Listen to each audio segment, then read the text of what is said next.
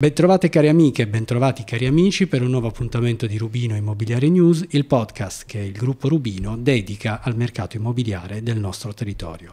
Io sono Gennaro Del Core e con me c'è il presidente Andrea Rubino. Benvenuto. Bentrovati. Allora, oggi parliamo di un tema un po' particolare perché siamo, stiamo entrando insomma, nella stagione dell'autunno e eh, paradossalmente c'è un dato che ci invoglia a approfondire le vendite, le compravendite degli immobili su Bari. Qual è questo dato?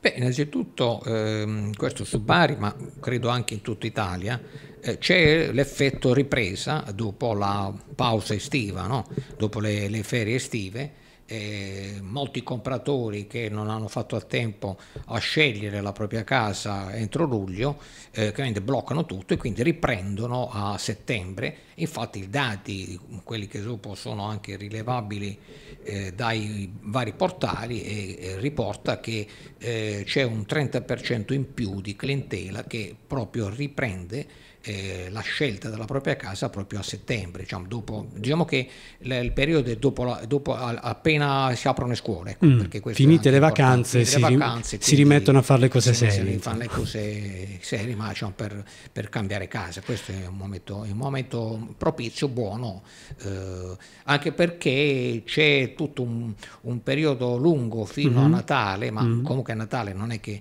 si ferma proprio il mondo, cioè ci sono le vacanze, però non è come l'estate dove uno, eh, diciamo, un, un, cliente... Un, diciamo, si possono fermare per parecchio fermare tempo. Per, per, un mesetto circa.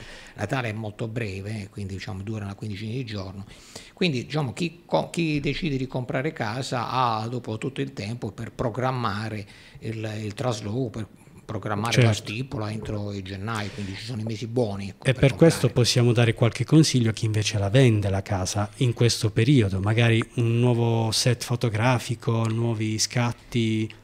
Eh sì, perché eh, innanzitutto eh, c'è, una, c'è, maggiore luce, settembre mm-hmm. ancora si vede molto bene, c'è, c'è la luce naturale che diciamo, l'immobile diciamo, si vedono anche, con, anzi devono vedere con la luce naturale, quindi per vedere la luminosità, ma anche c'è un buon clima per poter eh, visitare gli immobili, sì. quindi non fa né caldo né freddo, quindi diciamo, si, può fare, si possono fare le cose con una massima, massima comodità. Quindi. Può essere un, un, buon sostegno alla vendita anche effettuare dei piccoli lavori in casa, ad esempio ridipingere le pareti? Sì, ecco, quello è, comporta eh, presentare bene la propria casa eh, quando la si mette in vendita mm-hmm. e mhm. questi sono accorgimenti che poi dopo hanno, eh, insomma, sono, sono, sono, sfociati anche in una, in una disciplina che eh, comporta eh, tutto quello che può essere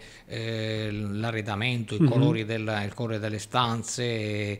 Eh, Ti riferisci all'home staging? Eh, che effettivamente è diciamo, la, la, l'home staging dove lo si può fare eh, di fatto, cioè mm-hmm. con, facendo questi interventi eh, sulla propria casa, eh, anche se non sono facili, certamente sono molto più facili a livello virtuale. Ecco. Sì. Però è chiaro che eh, se andiamo a riprendere il vecchio detto che anche l'occhio vuole la sua parte, beh, è, è chiaro che la casa la, la, si deve far trovare pronta, soprattutto ordinata e, e più pulita possibile. Ecco, perché è, una domanda per chiudere questa nostra breve chiacchierata. È un bene o un male lasciare degli elementi personali all'interno della casa? Cioè, mh, far trovare delle foto di famiglia può mettere a disagio chi entra o può eh, fargli immaginare come sarebbe casa sua?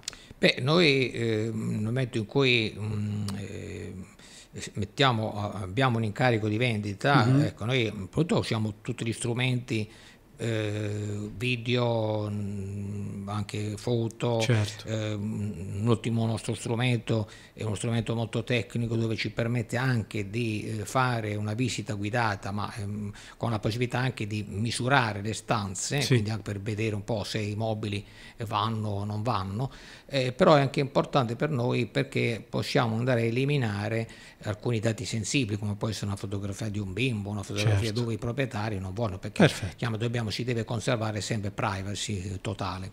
Perfetto, grazie per aver risposto alle nostre domande e al prossimo appuntamento.